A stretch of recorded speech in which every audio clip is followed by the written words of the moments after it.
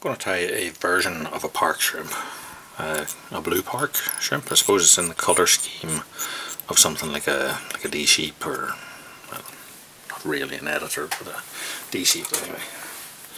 So we have a black inner tube clear, or black outer tube clear inner tube, um, and what I'm going to do is take a strand of Mirage. I'm going to tie that in forwards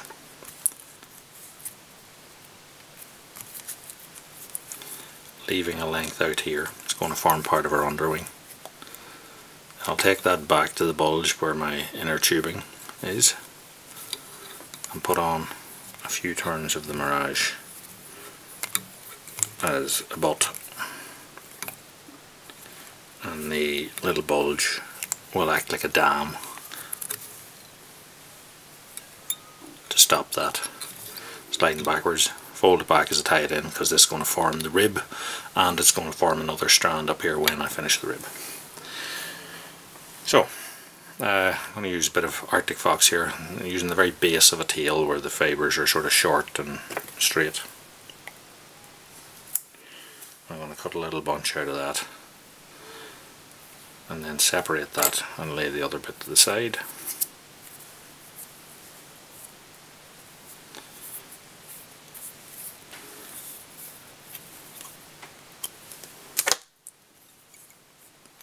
That in on top of our tube. So now I'm going to take a bit of yellow Arctic Fox and I'm choosing one that's nice and bright um, with lots of guard hair in. So what I'm going to do is remove almost all of the underfur in this bunch that I've got here I'm just going to roll it between finger and thumb and I'm going to tie that on longer than the previous blue bunch so maybe half as long again or maybe even twice as long depending on the shape of the fly. Now you notice I'm tying in in the middle here rather than back and you'll see why in a second. So next we're going to put a bit of flash into this tail. I'm going to use pearl crystal hair for that. I'm going to set a strand on top roughly the length of the yellow portion and then fold it back on itself that'll make two strands in it. Trim that off at the same length as the previous one.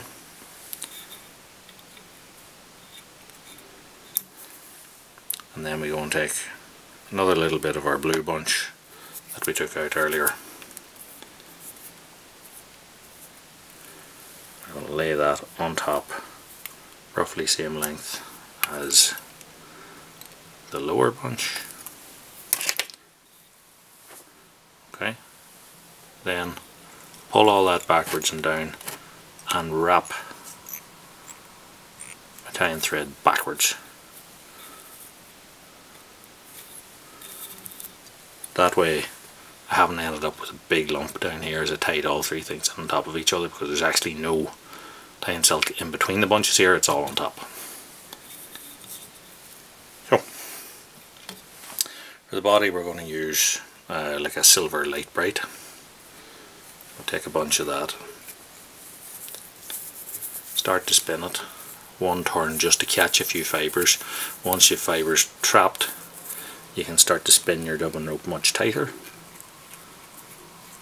And then we'll dub a body with that silver dubbing.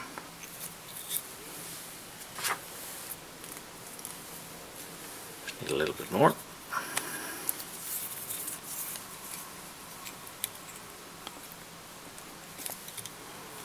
then we take our Mirage that was left there to rib with and rib along the body. Now Mirage, lovely stuff.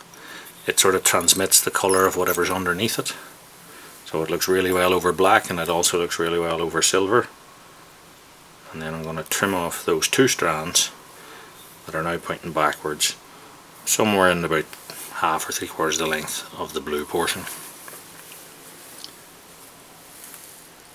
Next we want a, a, black wing. Use a bit of fox for this or a bit of temple dog or something along the lines of that. You'll find for wings it's best if you use uh, fox body fur or something like that. It's much softer, easier worked with. Doesn't want to kick up as much. A couple of turns onto that to hold it in place and then trim then take our super glue little blib into the cut ends of that there then before they dry bind them down. And that'll stop our wing from pulling out. So hackles there's going to be two. First one I'm going to use is a, a blue soft hackle and uh, it's more for an accent than anything. I'm just going to put in a couple of one maybe two turns or so we'll see how we get on with that. So I'm just doubling the the hackle. Take out my tip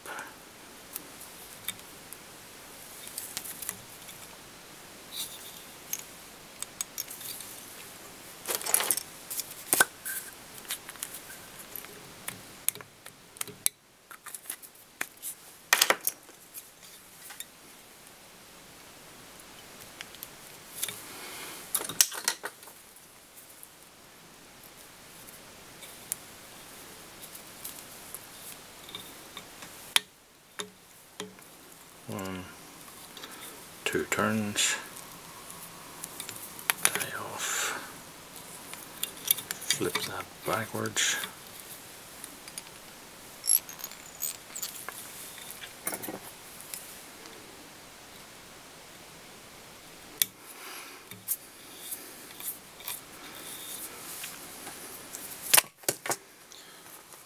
Now we want a couple of jungle cock feathers. two of them strip them at the same point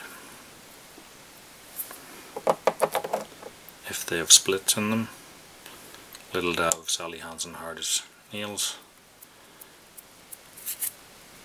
and just pull it between finger and thumb. once it starts to get tacky leave it alone and the two will be glued back together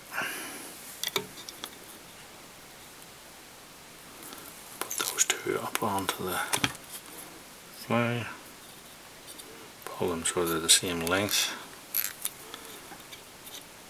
fold back their stalks.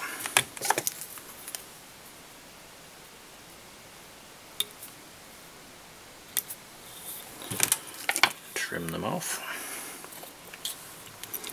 To make those extra secure that they don't fall out, I'm just adding a little bit of super glue onto my tie-in thread and that will allow me to wrap back up the the slope of our head. And then to finish this we're going to go for a yellow dyed badger hackle.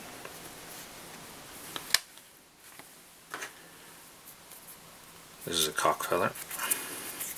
Strip that.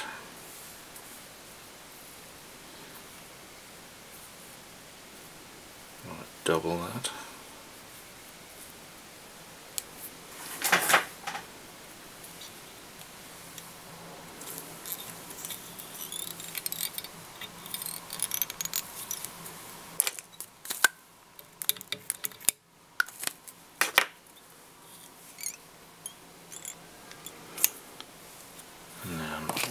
will on.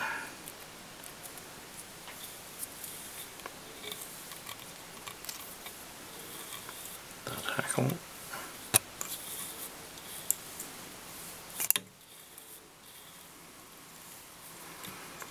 on the bare stalk.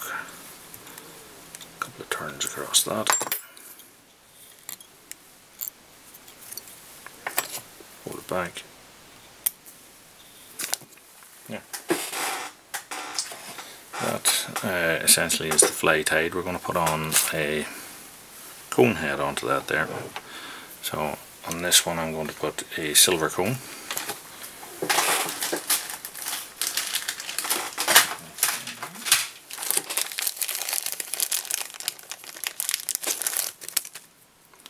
So I'm going to set the cone on there.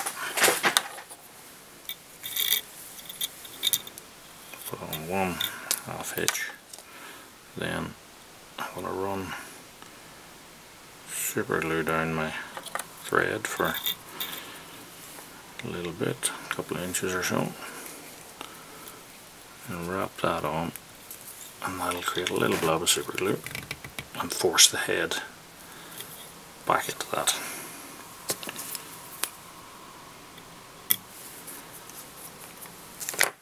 Snip it off and that is our fly tight. We just need to flame on the comb. So take that off.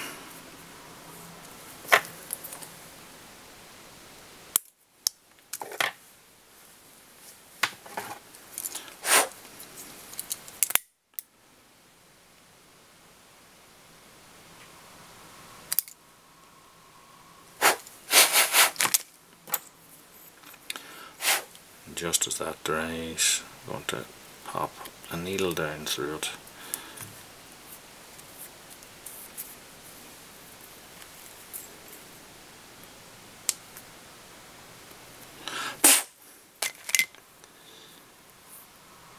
That.